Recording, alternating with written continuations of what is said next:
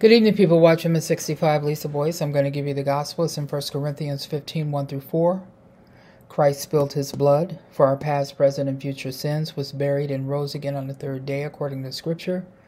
We're saved by grace through faith in Christ alone, not of ourselves, not of works, lest any man should boast. It is grace which is a gift.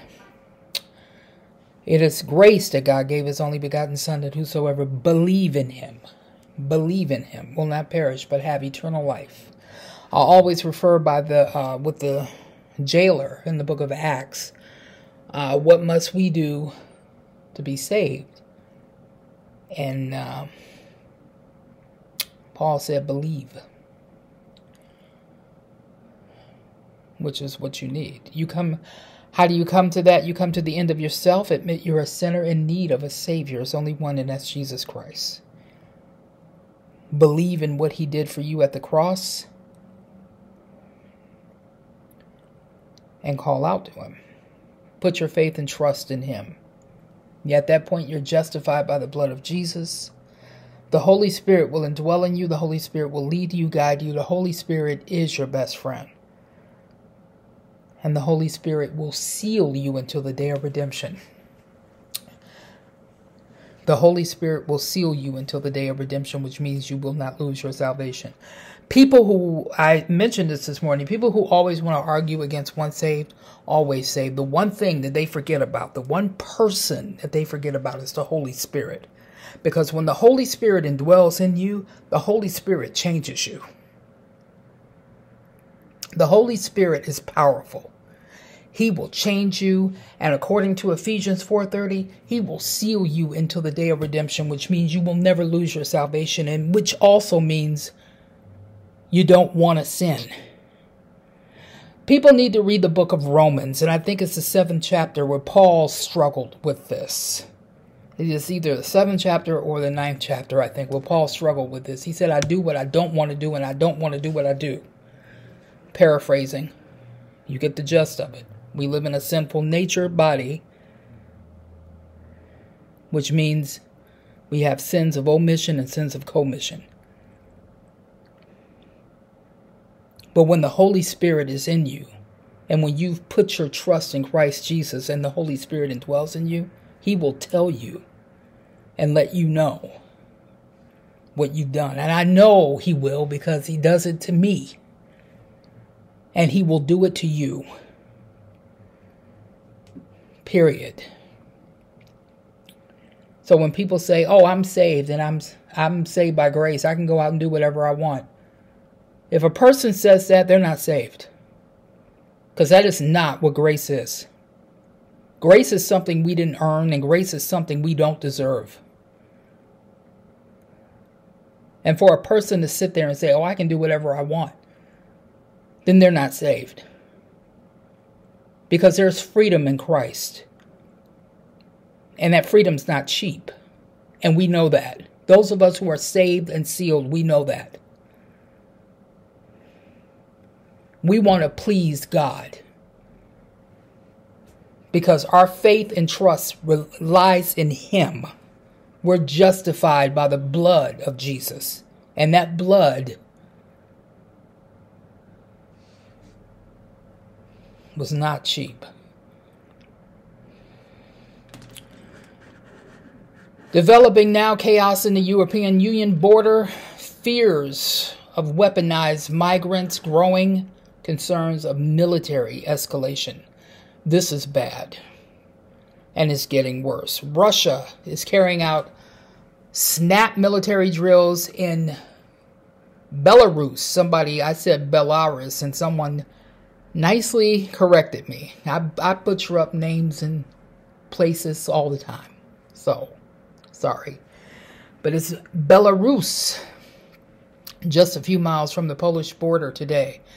As fears grow that Vladimir Putin is preparing for an invasion in Eastern Europe. According to the Daily Mail, Russia's defense ministry said the unannounced drill involved paratroopers from both countries dropping um, dropping at the uh, Koazi range, just 20 miles from where thousands of migrants are gathered at the Polish border, um, where they practice capturing bridges as well as hunting down and destroying enemy patrols. Belarus said the drill was in response to uh, the buildup of military activity at the Polish border, where 15,000 troops have been stationed to hold back the migrants, while Russia said it was to test the combat readiness of its troops.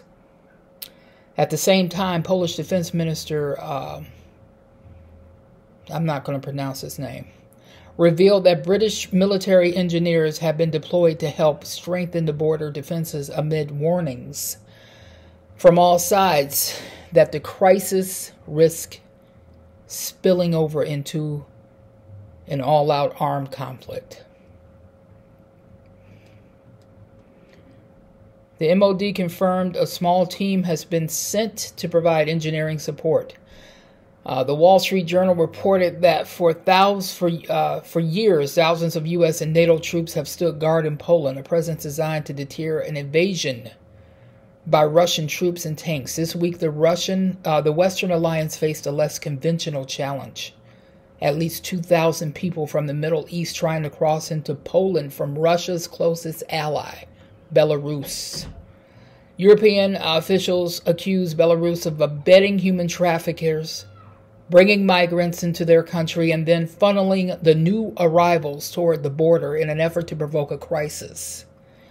Tensions are rising.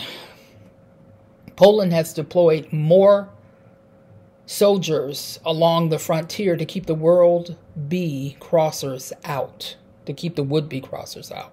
Russia says it views the troop movements as a threat and has responded by sending bombers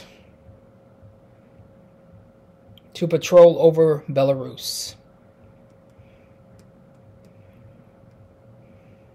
Larger groups of people are gathered and transported to the border area where they are where they uh, are then forced to cross the border illegally.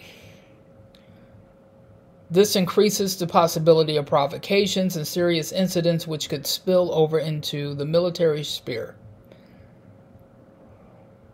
They condemn the uh, deliberate escalation of the Belarusian regime ongoing hybrid attack while stressing their country's bilateral support for Poland. The ministries also called on the European Union to increase its practical support to improve security at its external borders. Many hundreds of migrants, including many children, are staying in the open and near freezing temperatures along Belarus' western border with the European Union. Some have tents, others have only the nearby woods to, for shelter.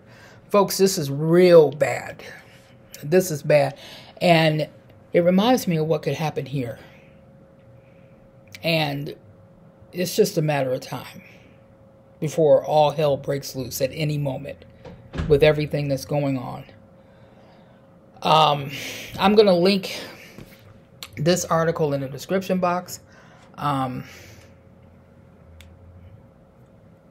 um, I'm going to ask you for prayer over both of my sons. Their official wrestling has started. Wrestling practice has started um, today. And it goes on and it's going to get hard for them, and especially Zachariah. So they are talking about making him varsity. And that's a worry on me. So I'd appreciate your prayers for them, Cody and Zach. And um, that's about it. I will be back with the next video. Uh, folks, this is this is getting real bad. Maybe we can be raptured before their first scrimmage. So that would be nice. No. But anyway, just um, I'll be back with the next video. Thank you.